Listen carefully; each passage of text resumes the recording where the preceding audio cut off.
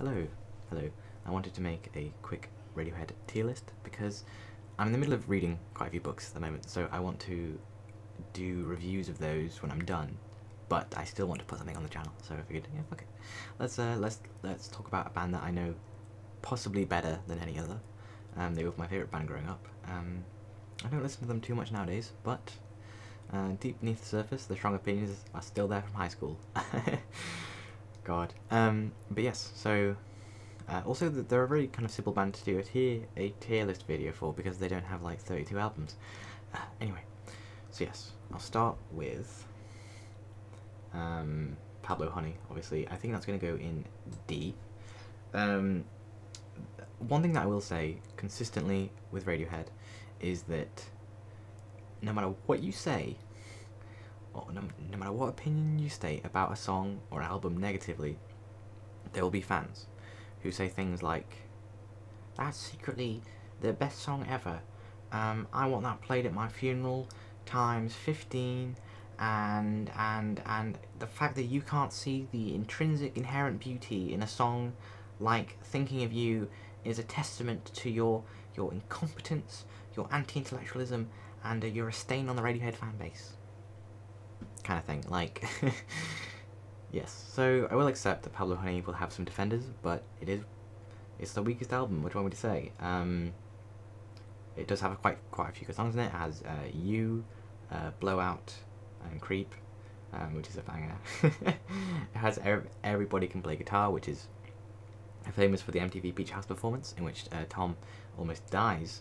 Um, basically, if you haven't seen it, uh, Tom screams, jumps into the MTV swimming pool, and then in the process of getting out, almost grabs a microphone wire, and uh, that could have been the end of the band right there, which, uh, yeah, they they would be remembered quite a fair bit differently, so let's be glad that didn't happen, but, uh, yeah, it has its defenders, but it's, yeah, it's just, it's just their weakest. Um, they hadn't really developed their confidence as a band yet, and you could tell because it sounds it's the Radiohead album that sounds most like the other bands that were around at the time.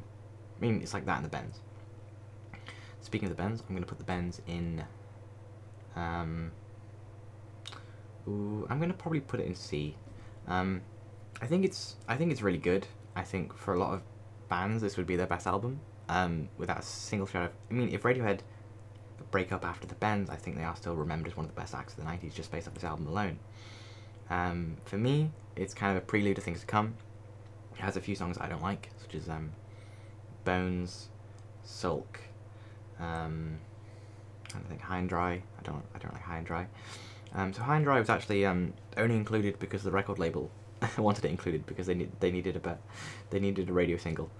Um, but yeah, it, it, has some of Ray Radiohead's best songs. Um, well, it has one of Radiohead's best songs in uh, Street Spirit Fade Out, and I really like the title track, The Bends. I think that's amazing.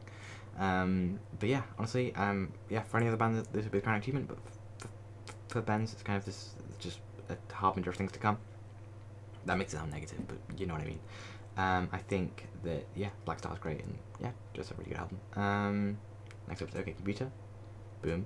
S tier. Sometimes considered the best album of all time. I wouldn't go that far. I don't think it.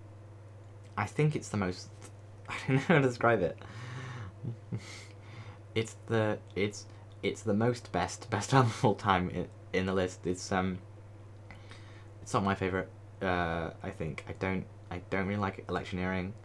I mean, like Airbag and The Tourist are like they're good songs, but I kind of feel like um, yeah, it doesn't it doesn't have the personal connection for me um, that that it would need to have for it to be the best album of all time for me. But yeah, still, it's still absolutely fantastic.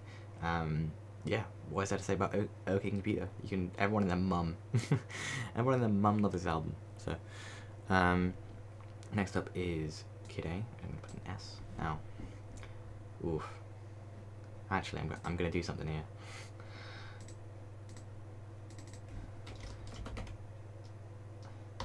S plus. yeah, I think Kid A is better than OK Computer. Um, for me, as it might be. I mean, it's in my top five best albums of all time, which OK, Computer isn't. Uh, I think Kid A is a statement. It's amazing. I think it's perfectly structured. I, there's not really a single like, I don't know, It's Kid A. I used to listen to this album every single night before I I went to bed, and I do not regret a single moment. I used to listen to it when, when I got up. I used to uh, Kid A. I used to listen to religiously, religiously. So I, I can only put this in S plus. um, yeah, it's amazing. Um, what does it say about Kid You know, everything in its right place. Um, how to disappear completely. Um, bloody, uh, I don't know, just that there isn't a single bad song. I mean, even the songs like that don't get as much attention, like Optimistic or In Limbo, or God, I really like Treefingers. What it is, like, I think it's the perfect. Treefingers could have not come at a better point in the album. I I think it splits the album so well into halves, and yeah, this album. I would. I don't know if I get married to it, but I would. I for sure have it as like. I don't know. I don't know. It's probably the album that I would think about while I was married to another album. I think it's great. Yeah, classic. Um, next up is Amnesiac. Uh, ooh. do I put Amnesiac above the Bends? That's a question. I don't know if I do. I mean, I think Amnesiac does have high highs with um, uh, you and Whose Army, Life in a Glass House. I really like Pack Like this. See, Amnesiac is very um, it's a very prickly album. I, I think it's an album that uh, more than anything shows Radiohead its most experimental. I don't think that it is much more than Kid A B sides, but I think that I I think it didn't need to be at. I think it's still great as that. And one thing that I will not understand about Radiohead till the day I die is is why they just didn't say this is Kid A bits like if it's recorded in the same sessions as Kid A it doesn't make it onto Kid A, you can't retrofit an album onto it. At least I don't know. It seems to me like um like it is just B sides, but it's, it's fine because they're amazing. And uh, and yeah, it's it just it does have a few weaker moments. It has um I I want to like Dollars and Cents a lot more than I like Dollars and Cents, and I want to throw Morning Bell Amnesiac into a fire.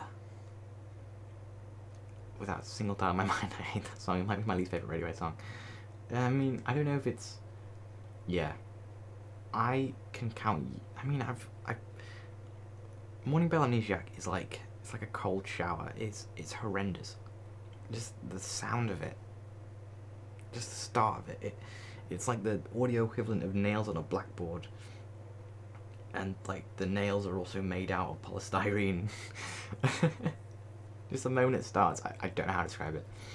Um, maybe that's irrational. Who knows? Still, still really good though. I mean, I might, I might move it back down to C actually. Yeah, I might swap these. um, next up is Hail to the Thief. Um, yeah, where do I put Hail to the Thief? Nah, probably C.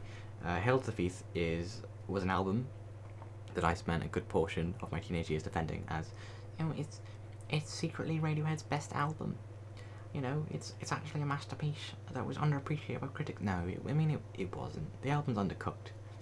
It was recorded in two weeks, and which is fair because recording's stressful, and they wanted to do it quickly. But I just think that a lot of the songs are undercooked.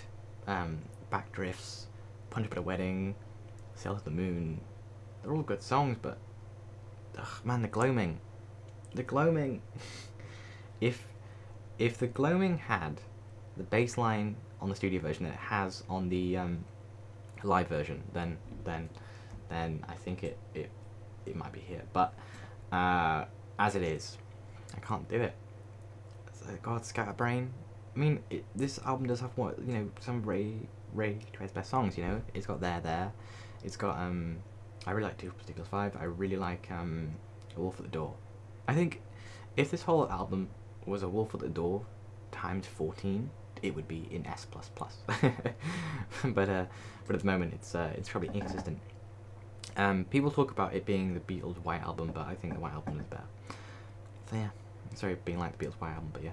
Uh, in Rainbows, it's gonna go A because it is it is amazing. It's it is really the band at the kind of the peak of its. I don't know. I don't know if peak of the powers is, is the right term, but like, it was such a confident, fresh, alive band. I mean, as much as I do, I adore OK Computer and Kid A. They're a band.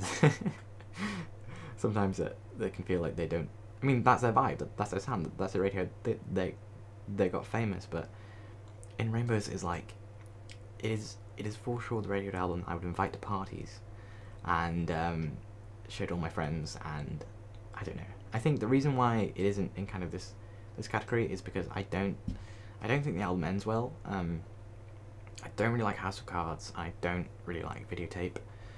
I think I would like Videotape more if the 2006 live version wasn't so good.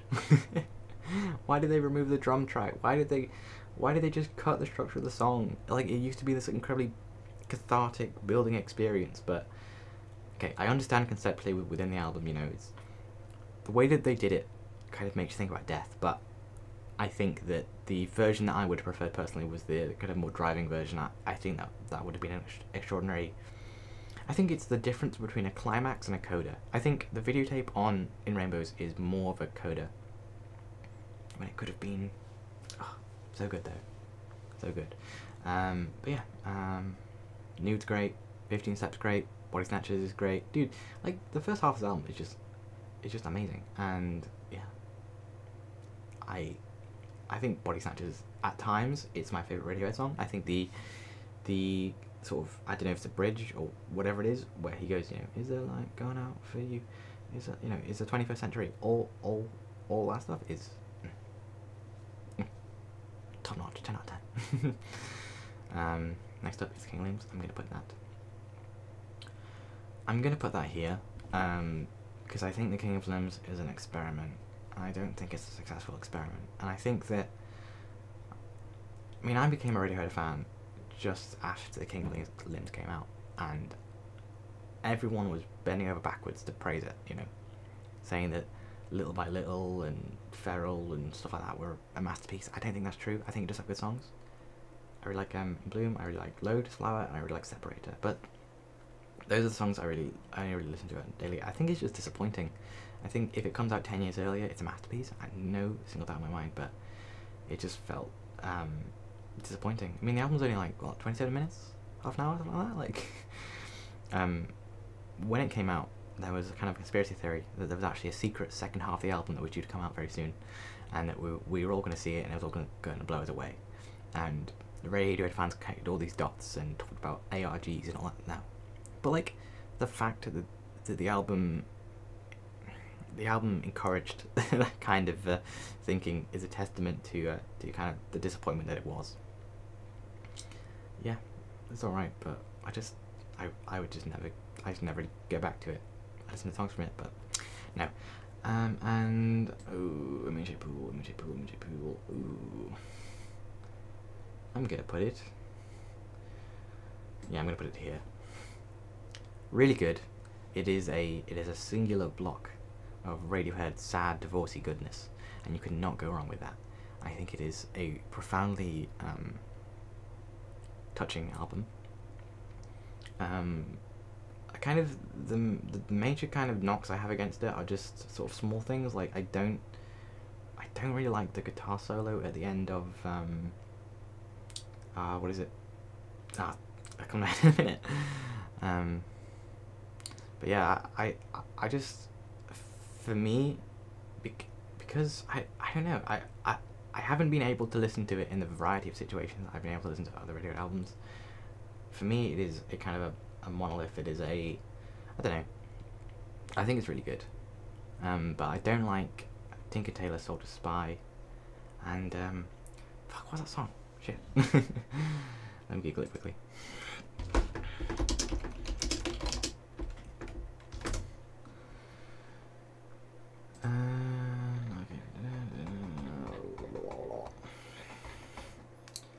Identikit. That's it. I. It's been a while, but like, so I was 16 when it came out, so I was like a kind of peak Radiohead fandom, and I, for some reason, I remember the uh, Identikit live version being a fair bit better than than the one that came out, and I, I don't really like the ending. It comes along with the studio version of the song. Um, I think Tinker Tailor Soldier Spy is disappointing, and I think that I don't know. It could have used more songs like Full Stop um, in the present tense. Um, but obviously, it also has True Love Waits, which is a beautiful, beautiful song. And I think if the si- if a situation were to arise where Moon Shaped Pool was the last Radiohead album, I think it would be the perfect way to end the catalog, considering the song has history dating back, God, twenty years. Just, mm, really good. uh, I I sort of, yeah, it's just sort of small things I have. Like I wish the ending of Burn the Witch went on longer. Um, I wish that I don't know. I wish that the numbers was was a bit more. Nah, I'm I'm gonna move it down a little bit. I feel like on a song by song basis, what I'm gonna put here. I think on a song song as an album basis, as an album, it's an A. But in terms of like how many of the songs I, I go back and individually listen to, it's probably a C. So, but yeah, so that was a that was a Radiohead tier list, and uh, and yeah, I'll have more book review content coming out. I just I just wanted to kind of quickly get get this out of the way, and uh, yeah. Do you agree? Do you not agree? Um, yeah, let let us know, and uh, have a uh, have a fantastic day.